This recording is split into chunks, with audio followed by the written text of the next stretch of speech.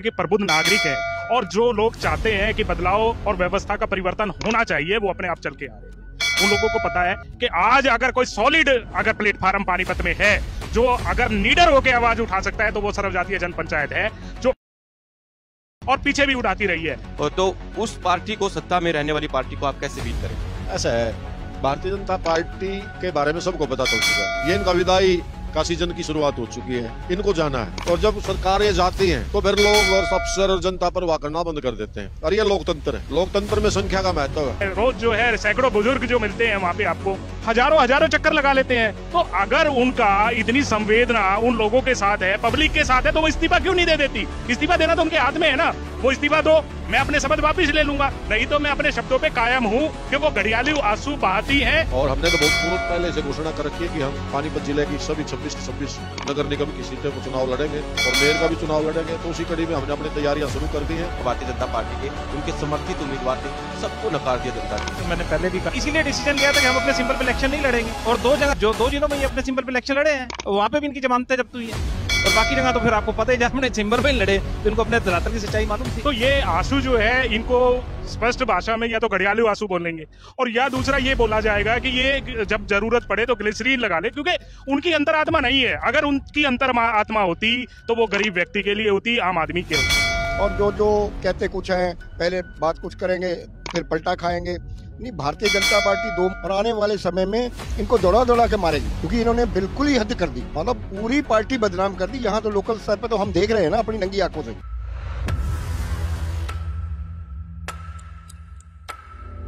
नमस्कार, आप देख रहे हैं सिटी तहलका और मैं आपके साथ संदीप शर्मा और सर्वजातीय जन पंचायत की सातवीं मासिक बैठक के साथ साथ एक अहम कार्यक्रम ये भी था कि पानीपत के ग्रामीण हलके के अध्यक्ष जसवीर कादियान जस्सा जो है और महिला में नहीं होती तो वो खुद चुनाव में कूदते, लेकिन महिला आरक्षित होने के चलते उन्होंने अपनी भाभी को जो है चुनावी मैदान में उतारने का फैसला किया और पहली बार जो है सर्वजातीय जनपंचायत की झोली में एक सीट जो है उन्होंने देने का काम किया है और आज उनका सम्मान समारोह था। तमाम सवालों के जवाब हम यहाँ पर जो कोर कमेटी के जो सदस्य हैं सभी लोगों से जानेंगे। सबसे पहले सर बधाई हो आपको कि पहली बार आपने चुनाव मैदान में अपने एक कैंडिडेट को उतारा और उन्होंने खाता खोल दिया। बहुत बहुत धन्यवाद। आपको भी धन्यवाद। आज एक बड़ी घोषणा और कर दी कि भाई ग्रामीण से आपने शुरुआत की और अब शहर की तरफ़ आपकी नज़र है। आज ऐलान कर दिया चार उम्मीदवारों के आपने घोषणा भी कर दी चार शहर के अंदर और 26 के 26 वार्डों में ये कहा जा रहा है कि हम लोग उतारेंगे और अब की बार सर्वजातीय जनपंचायत का मेयर हो गए। देखिए सर्वजातीय जनपंचायत का उद्देश्य ही सत्ता परिवर्तन नहीं व्यवस्था परिवर्तन भी है। और जिस प्रकार से वर्तमान सरकार से लोग हर क्षेत्र में परेशान है तंग है और इसे छुटकारा पाना चाहते हैं। और मैदान में विपक्ष नाम की कोई चीज़ नहीं है। तो इन हालातों से तंग होकर के हमने सर्वजातीय जन पंचायत का गठन किया था। और अभी जो जिला परिषद के चुनाव थे, पानीपत जिला की जो सबसे ज्वलंत सीट थी, वार्ड पंद्रह से, वहाँ पर हमने अपने सर्वजातीय जन पंचायत के हल्का अध्यक्ष को सीधा मैदान में उतारा था और भारतीय जनता पार्टी ने भी और एक पूर्व विधायक ने पूरा ज़ोर लगाया, वर्तमान विधायक ने भी ज़ोर लगाया और एक पूर्व मंत्री दूसरी पार्टी से खुद चुनाव लड़ रहे थे। तो हमारे प्रत्याशी की जीत ने हमारी सर्वजातीय जन पंचायत में उत्साह का संचार किया है और हमने तो बहुत पूर्व पहले से घोषणा कर रखी है की हम पानीपत ज़िले की सभी छब्बीस की छब्बीस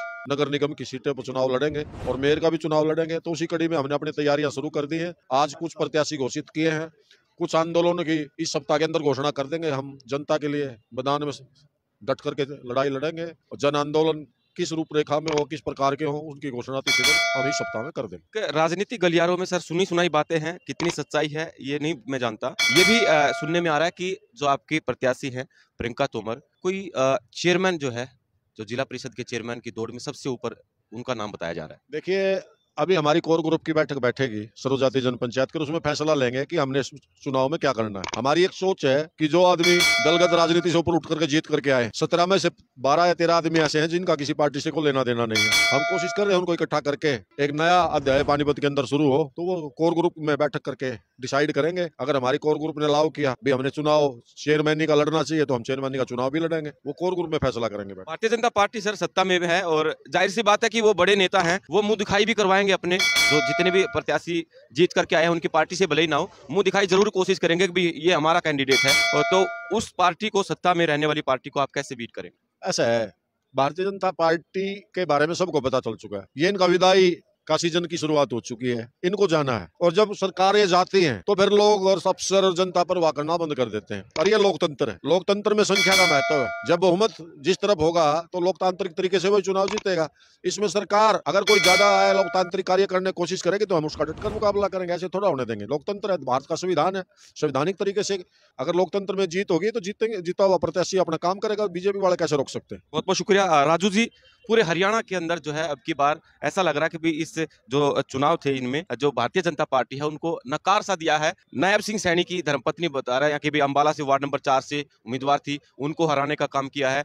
कई सारे ऐसे हैं जो धीरे धीरे कई दिनों के बाद अखबारों में आए कि भाई कद्दावर जो नेता भारतीय जनता पार्टी के, उनके समर्थित उम्मीदवार थे, सबको नकार दिया जनता ने। तो मैंने पहले भी कहा कि करनी करे तो क्यों डरे, करके क्यों पछताए? जब इनको अपनी करनी पे पता था कि हमने कुछ किया ही नहीं प्रदेश के लिए और जनता त्रस्त है, इसीलिए डिसीज़न लिया था कि हम अपने सिंपल पे इलेक्शन नहीं लड़ेंगे। और दो जगह स्टेटों में जो, दो जिलों में ये अपने सिंपल पे इलेक्शन लड़े हैं, वहाँ पे भी इनकी जमानतें जब्त हुई हैं। और बाकी जगह तो फिर आपको पता ही जब हमने पे ही लड़े तो इनको अपने धरातल की सच्चाई मालूम थी। शहर में कैसा परफॉर्म करने वाले पहली बार मेरे ख्याल में ये रिकॉर्ड बन चुका है कि भाई चुनाव की तारीखों का ऐलान भी नहीं हुआ। टाइम है अभी अगले साल चुनाव होने हैं लेकिन आपने कैंडिडेट पहले ही उतार दिया जबकि जो राष्ट्रीय पार्टियाँ होती है उनको ये लगता है कि भाई कहीं ना कहीं हमें नुकसान ना झेलना पड़े और कहीं हमारे उम्मीदवारों की खिलाफत ना हो। एन वक्त पर दो चार दिन पहले ही जो नामांकन है उससे पहले अपने उम्मीदवारों की घोषणा करते हैं लेकिन आपने पहले ही घोषणा कर दी। ऐसा है जो सुच्चे मोती होते हैं ना उनको चुनने में टाइम लगता है। तो अभी हमने टाइम से पहले उसकी शुरुआत कर दी है। जो सूचे मिले उनकी घोषणा कर दी है। जो आगे सूचे मिलेंगे, उनकी फ्यूचर में घोषणा कर दी जाएगी। ऐसे उम्मीदवारों का चयन करेंगे आप? किस तरह के उम्मीदवार होने चाहिए? किसी, अगर कोई दूसरी पार्टी, जिस तरह भारतीय जनता पार्टी में सुरेंद्र जी भी थे, वहाँ से भी कोई आना चाहे, वो प्रायोरिटी रहेगी। या साफ़ छवि, और कई बार ऐसा भी आरोप लगता है कि भाई, दूसरी जो रीजनल पार्टियाँ हैं या राष्ट्रीय पार्टियाँ हैं, पैसों के जो है, वहाँ पे लेन देन चलता है, जब उनके जो है नाम घोषित किए जाते हैं। ऐसा है कि ये सच्चाई है कि पैसों का लेन देन चलता है, वो जनता ने देख ही लिया है कि वो भुग- भुगतना तो आखिर जनता को ही पड़ा ना। अब जनता समझदार हो चुकी है, कोई हमारे पास आना चाहेगा, सच्ची सच्ची, छवि का हो चाहे किसी भी पार्टी से हो, हम उसका वेलकम करेंगे। अगर वो उस लायक होगा, जनता के समाज की सेवा के अनुरूप होगा तो हम उसको प्रत्याशी भी घोषित कर सकते हैं, कोई बड़ी बात नहीं है। सिंगला जी हमारे साथ मौजूद हैं और एक, फ़िलहाल आज थोड़ा सा विवादित बयान इन्होंने दे दिया है कि, सर, क्या बोला आपने? प्रथम नागरिक भी हैं वो। मेयर साहिबा की आपने बोल दिया कि भाई आरोप लगा दिया कि ग्लेसरीन लगा के वो जाती है ताकि उनके आँसू निकल जाए।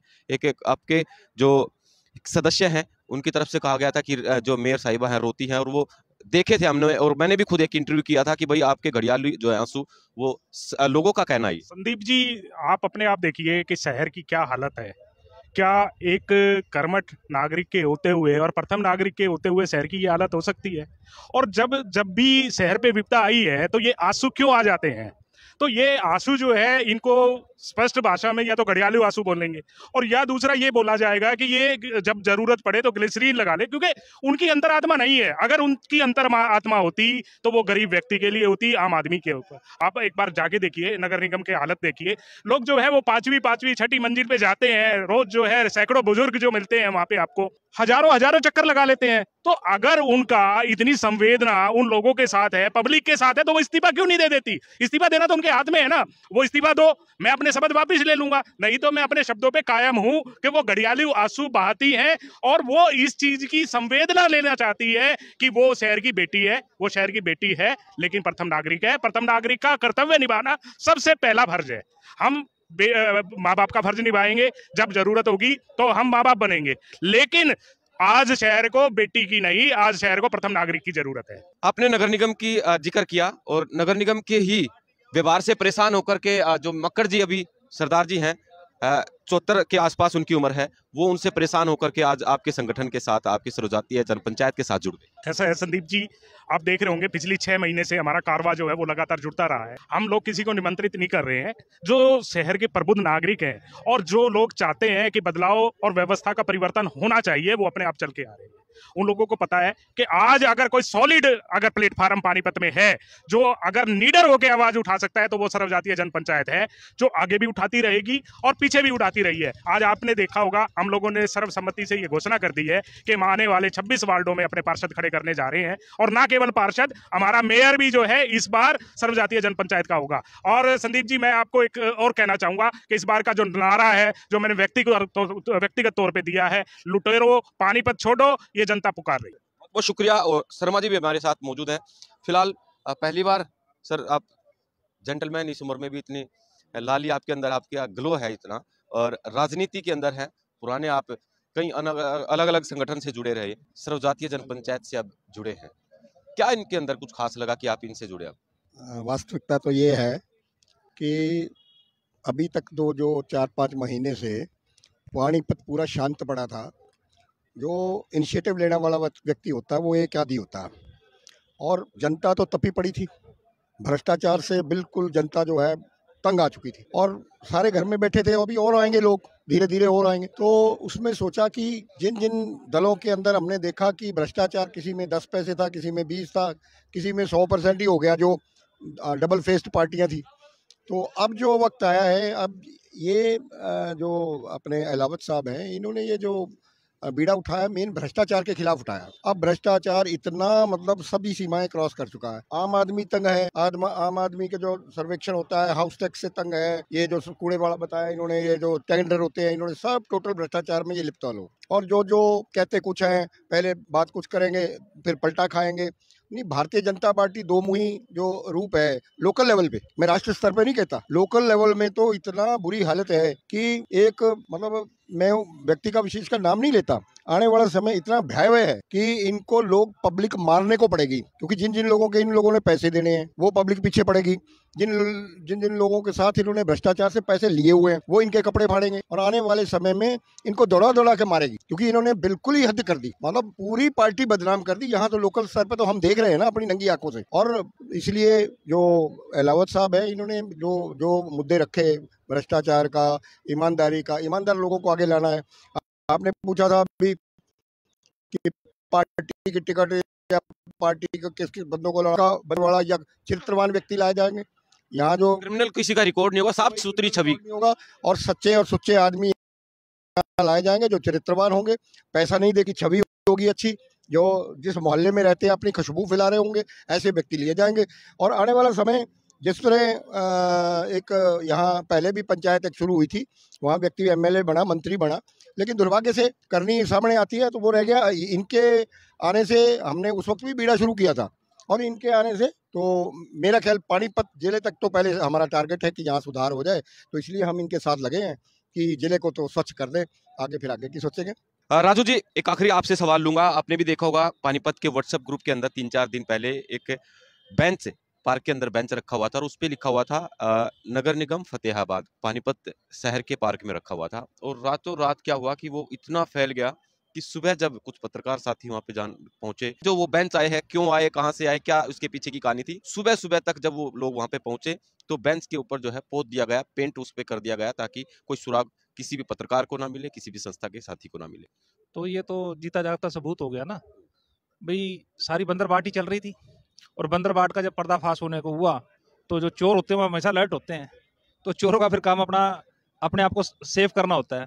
वो उन्होंने कर लिया। बहुत बहुत शुक्रिया। तो सभी दर्शकों से अपील रहेगी कि इस वीडियो को शेयर करें और सर्वजातीय जनपंचायत के द्वारा चार उम्मीदवारों के जो नगर निगम के चुनाव अगले साल होने हैं चार उम्मीदवारों की घोषणा कर दी गई है। तमाम सवालों के जवाब दिए और आप भी कमेंट्स ज़रूर साझा करें। बहुत बहुत शुक्रिया। नमस्कार। ऐसा है संदीप जी।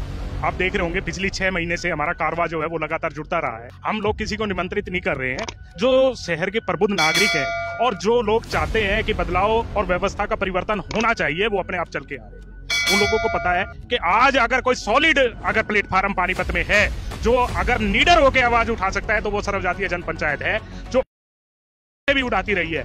तो उस पार्टी को सत्ता में रहने वाली पार्टी को आप कैसे बीट करें ऐसा है। भारतीय जनता पार्टी के बारे में सबको पता चल चुका ये विदाई का सीज़न की शुरुआत हो चुकी है। इनको जाना है। और जब सरकारें जाती हैं तो फिर लोग और अफसर और जनता पर वाह करना बंद कर देते हैं। और ये लोकतंत्र है। लोकतंत्र में संख्या का महत्व है। रोज जो है सैकड़ों बुज़ुर्ग जो मिलते हैं वहाँ पे आपको हज़ारों हज़ारों चक्कर लगा लेते हैं। तो अगर उनका इतनी संवेदना उन लोगों के साथ है पब्लिक के साथ है तो वो इस्तीफा क्यों नहीं दे देती? इस्तीफा देना तो उनके हाथ में है ना। वो इस्तीफा दो मैं अपने शब्द वापिस ले लूँगा। नहीं तो मैं अपने शब्दों पे कायम हूँ कि वो घड़ियाली आँसू बहाती है। और हमने तो बहुत पूर्व पहले से घोषणा कर रखी है कि हम पानीपत ज़िले की सभी छब्बीस छब्बीस नगर निगम की सीटों को चुनाव लड़ेंगे और मेयर का भी चुनाव लड़ेंगे। तो उसी कड़ी में हमने अपनी तैयारियाँ शुरू कर दी है। भारतीय जनता पार्टी के उनके समर्थित उम्मीदवार ने सबको नकार दिया जनता ने। तो मैंने पहले भी कहा। इसीलिए डिसीज़न लिया था कि हम अपने सिंपल पे इलेक्शन नहीं लड़ेंगे। और दो जगह जो दो जिलों में ये अपने सिंपल पे इलेक्शन लड़े हैं वहाँ पे भी इनकी जमानतें जब्त हुई है। और बाकी जगह तो फिर आपको पता ही जब हमने चेंबर में लड़े तो इनको अपने धरातल की सच्चाई मालूम थी। तो ये आँसू जो है इनको स्पष्ट भाषा में या तो घड़ियालू आँसू बोलेंगे। और या दूसरा ये बोला जाएगा कि ये जब ज़रूरत पड़े तो ग्लिसरीन लगा ले क्योंकि उनकी अंतरात्मा नहीं है। अगर उनकी अंतर आत्मा होती तो वो गरीब व्यक्ति के लिए होती आम आदमी के होती। और जो जो कहते कुछ हैं पहले बात कुछ करेंगे फिर पलटा खाएँगे। नहीं भारतीय जनता पार्टी दो और आने वाले समय में इनको दौड़ा दौड़ा के मारेगी, क्योंकि इन्होंने बिल्कुल ही हद कर दी। मतलब पूरी पार्टी बदनाम कर दी। यहाँ तो लोकल स्तर पे तो हम देख रहे हैं ना अपनी नंगी आँखों से।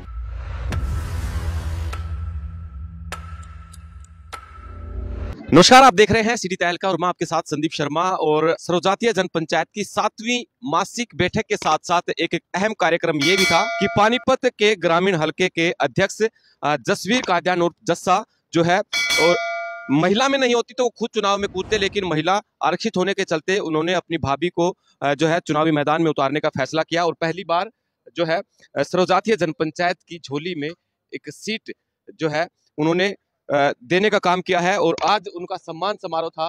तमाम सवालों के जवाब हम यहाँ पर जो कोर कमेटी के जो सदस्य हैं सभी लोगों से जानेंगे। सबसे पहले सर बधाई हो आपको कि पहली बार आपने चुनाव मैदान में अपने एक कैंडिडेट को उतारा और उन्होंने खाता खोल दिया।